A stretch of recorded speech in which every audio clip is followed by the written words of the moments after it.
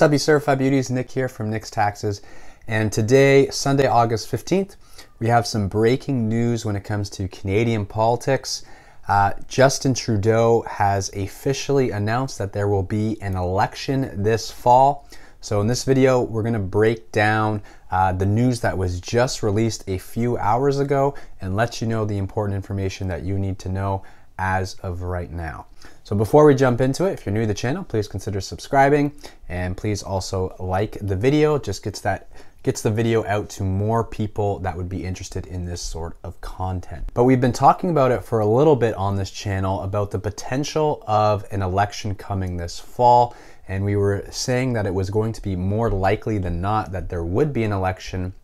And we were kind of looking at how that would affect uh, the Canada Recovery benefits. Obviously, nothing uh, on that front for now. Today's video, we're just going to look at the details. And what we know is that the uh, government has officially confirmed that um, there will be an election this fall. Uh, Justin Trudeau has been in a, in a minority government since October of 2019. Uh, the election day, so mark this on your calendar, is going to be September 20th. So people uh, will only have about five weeks to make a decision about who they want to vote for. And obviously, uh, campaigns are only going to be a tight five weeks in length. So Justin Trudeau spoke today in Ottawa after he did break the news.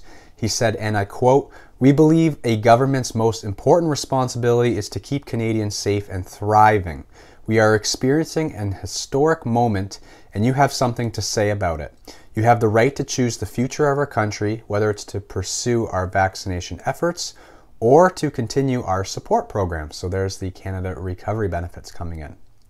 Justin Trudeau also highlighted the party's promise to create a national child care plan, something else we've talked about on the channel, and said Canadians need to choose how they want to finish the fight against the COVID 19 pandemic. One of Justin Trudeau's main competitors is the Conservative Party, and their leader, Erin O'Toole, spoke shortly after Trudeau, and he quickly criticized the decision to send Canadians out to the polls in the midst of this COVID 19 pandemic. He faced repeated questions about whether um, he, his views on restrictions or unvaccinated people have changed, um, but he did not answer them despite uh, all the questions that he received. He also did not answer whether or not his candidates in the Conservative Party will need to be vaccinated, whereas NDPs uh, are requiring their people to be vaccinated, and Liberals are saying that uh, they are encouraging their candidates to follow the uh, community government guidelines regards to our health. Erin O'Toole also went on to say that we need to educate and not mandate. He says, I will always respect people's decisions. And so um, I think the Conservative Party is leading more towards choice when it comes to vaccinations and mandates. Another uh, leader was from the Bloc Québécois.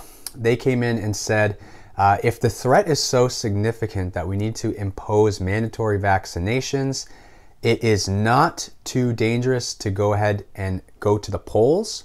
So he thinks that there's a disconnect uh, between the two. He doesn't think that it's safe right now or a good idea right now either uh, to go to the polls. The other uh, horse in this race is the NDP leader, Jagmeet Singh. He called this election selfish and said the government should be working on uh, deploying all possible resources to help those um, that are in need. And he also talked about the situation going on in Afghanistan. So back in 2015, Justin Trudeau uh, won a majority government, but that was then reduced to a minority government in 2019.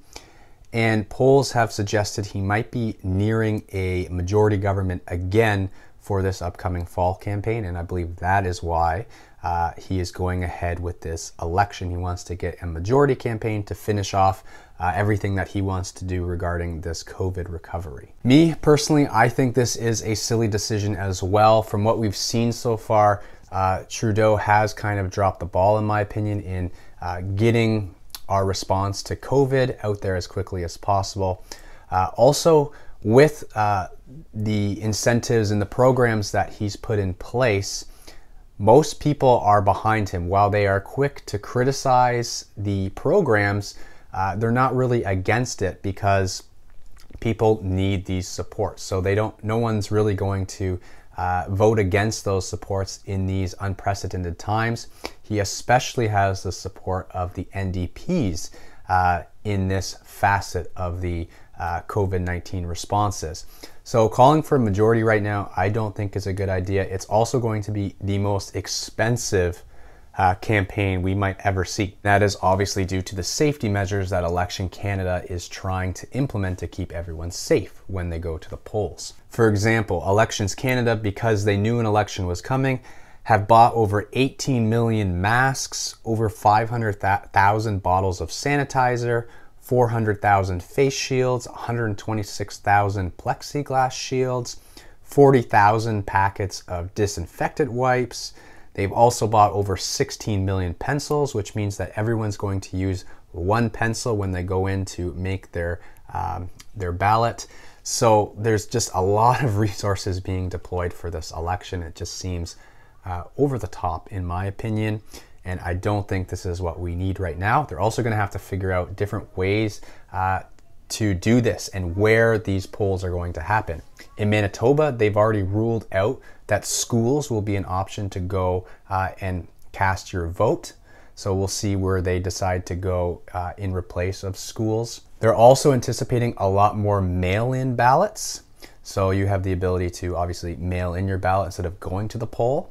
Uh, but with the increase in that, we might see a delayed uh, result uh, from the election. So we might not know who wins the election or the results of the election that night of September 20th. We might need to have a delay as provinces and territories count up all the votes from the mail in ballots. So we'll see what comes out uh, in these next five weeks. I'll be sure to keep you guys updated regarding all things uh, with the election and what the platforms of some of these candidates have. Obviously, being a tax guy, I'll especially look at the tax policies and what I think. Uh, but let me know is this a good time for an election? What do you guys think? Let me know in the comments below, and I will be sure to read them and answer and interact with you guys. Thanks so much for watching. Again, if you got value, give this a thumbs up, and I will see you guys in the next video. Happy taxing.